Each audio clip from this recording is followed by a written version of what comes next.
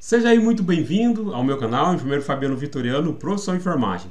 Hoje eu quero te ensinar como pulsionar uma veia jugular. Esse vídeo que eu vou utilizar é uma colaboração do enfermeiro Diego Prazeres. O Instagram dele é f.diegoprazeres. E também você pode seguir ele na outra página que ele tem, que é Rotinas UTI. Rotinas UTI. Um ótimo vídeo que ele fez. Como eu já estou fora um tempinho aí do meio hospitalar, né?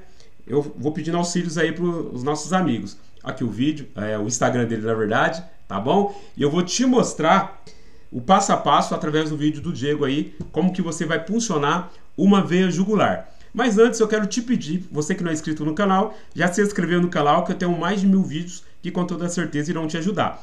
Lembrando, gente, que eu tenho tido muitas visitas de pessoas não inscritas e não têm inscrito. Se inscreva aqui no canal, tá bom? Eu quero fazer vídeos que vai enriquecer o seu conhecimento. Se você quer aprender sobre veia jugular, se você quer aprender sobre catéter central, se você quer aprender sobre urgência e emergência, eu vou me inspirar esses dias para criar vídeos nessa categoria. Então você que não é inscrito aqui, já se inscreva no canal, tá bom? Agora eu quero te mostrar o passo a passo de como funcionar uma veia jugular. Bola, bora, na verdade, para a tela do meu computador. Alguns pontos importantes, antes de falar sobre a punção jugular, é algumas dicas que eu quero te dar, que é bastante importante.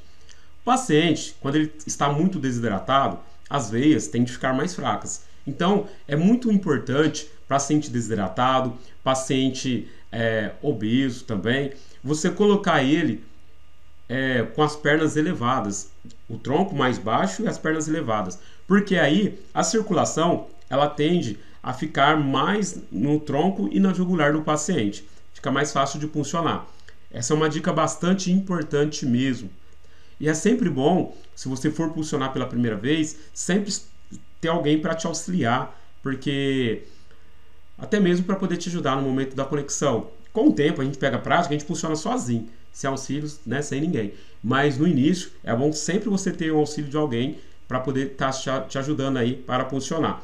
Não precisa escolher acessos muito calibrosos, não precisa você escolher um 18, um 14, 16. A jugular dá para funcionar com 20 tranquilo, sem problema algum, tá bom? E agora eu vou te mostrar aqui a punção e depois eu vou te explicando o vídeo, tá bom? Primeiramente eu quero te mostrar aqui a punção, ó, como que é a punção jugular, e depois eu vou te explicar o vídeo passo a passo. Aqui ele está fazendo a antisepsia, momento da punção. Quando funciona a jugular, você vai perceber que há um retorno venoso no momento que você pega a veia ali, olha lá, ó, o retorno venoso, tá vendo? Que interessante. Eu vou voltar e eu vou te explicar o passo a passo dessa punção, da forma que você vai proceder. Ele está estabilizando ali a punção. Uma perfeita punção jugular. Um paciente, lembrando que esse paciente é um paciente de fácil acesso jugular. E lembrando também que é a jugular externa. A gente não funciona a jugular interna. Jugular interna, só o médico que funciona. Essa é a jugular externa. Agora eu vou voltar aqui, te falar o passo a passo de como a gente vai fazer essa punção para que você possa entender, para que você possa também estar fazendo. É o seguinte, gente, vamos lá. Então vamos voltar aqui. Primeiramente, você vai fazer a antisepsia da pele. Você pode fazer com álcool 70% ou com clorexidina 0,5%, que é a clorex alcoólica. Então eu vou mostrar aqui para você o momento da antisepsia da pele. Olha lá. Precisa fazer movimentos fortes mesmo para limpar o local. Se possível, pode usar até mais de um bolo de algodão de, de 3 a 5 bolos de algodão para fazer a antisepsia da forma bem correta, para deixar bem limpinho, que o pescoço é o lugar onde a pessoa soa demais, né, junta muita sujidade, então faça uma antisepsia rigorosa desse local. Fez a antisepsia, o que, que você vai fazer? Você pode tirar o travesseiro e você pode deixar o paciente com as pernas um pouco mais elevadas e o tronco mais baixo do que as pernas. Nesse momento, a gente não utiliza garrote né, para está funcionando a jugular. A gente não vai garrotear o pescoço do paciente, mas você pode fazer uma pressão mais ou menos na altura da clavícula, tá bom? Sentido contrário da sua punção, olha lá. Faz uma pressão, tá vendo? Bem na altura da clavícula. No momento que você faz a pressão, a veia ela fica mais regurgitada, olha lá. Fica mais regurgitada. Aí você adentra, no momento que você punciona e o sangue retorna, ó, vai funcionar. O sangue retornou. No momento que o sangue retornou, você vai estar é, colocando apenas o gel, igual a gente faz na punção normal. Vai estar introduzindo apenas o gel e vai tirando o mandril. Lá na ponta do gel, nós temos uma seringa. Tem pessoas que gostam de utilizar seringas, outras pessoas não. Se você não utiliza seringa, eu, eu, mesmo não utilizo seringa, mas eu tenho alguns amigos que gostam, porque às vezes o paciente está muito desidratado, com a seringa você dá uma aspiradinha, né? O sangue retorna, porque quando o paciente está muito desidratado ou hipovolêmico, você punciona a jugular, não há retorno venoso.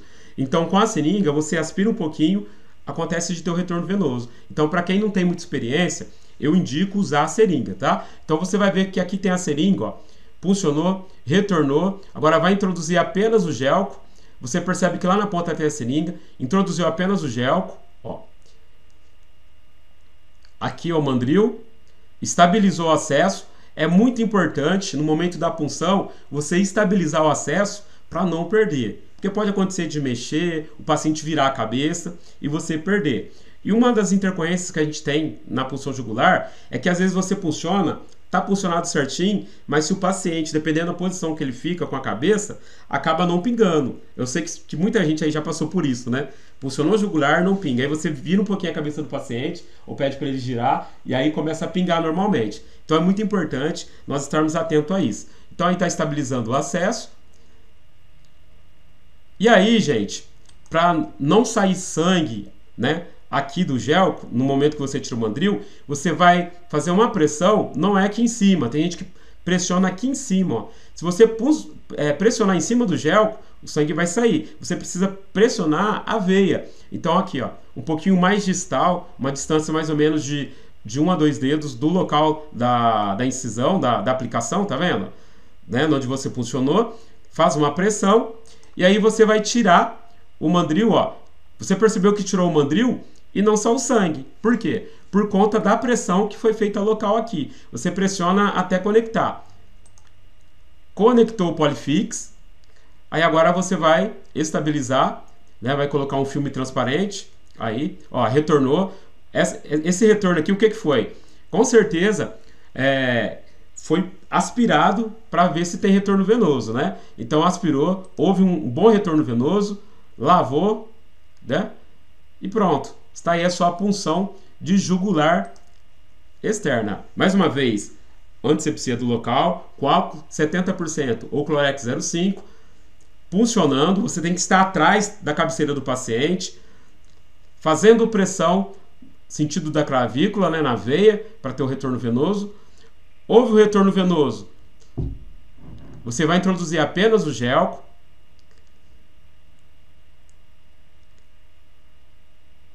fazendo a estabilização do acesso, muito importante.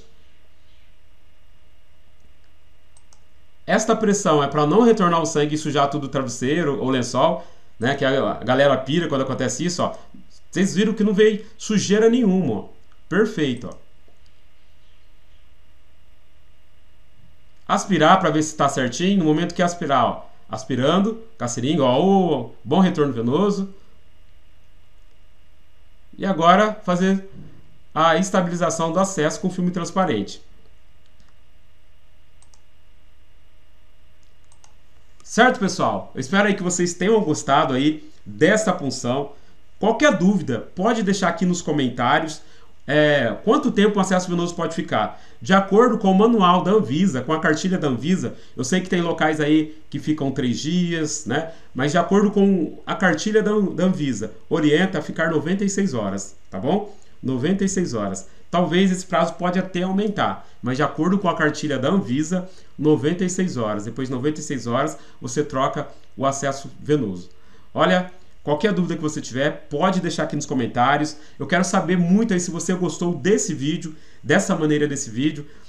Quer mais dicas, né? Deixa aqui nos comentários o vídeo também, se você quer algum vídeo específico que eu vou trazer aqui para você.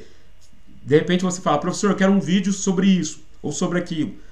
Pode pedir aí que eu vou trazer aqui para você, tá bom? Pessoal, só lembrando que eu vou deixar na descrição desse vídeo o link do meu curso de preparo e administração de medicamento. Eu ensino sobre punção venosa, eu ensino sobre aplicação intramuscular e muito mais. Esse curso, ele está com nota 4.6 da Hotmart. 4.6. A nota máxima é 5, então a nota dele está ótima, tá bom? Olha, é um ótimo curso aí para quem tem muita dúvida no preparo e na administração de medicamento e para quem está inseguro. Se você treme demais, esse curso vai te ajudar a não tremer mais. Vou deixar aqui na descrição do vídeo, tá bom? Grande abraço aí para você do enfermeiro Fabiano. Deixe o seu like se gostou, compartilha com seus amigos e até o próximo vídeo.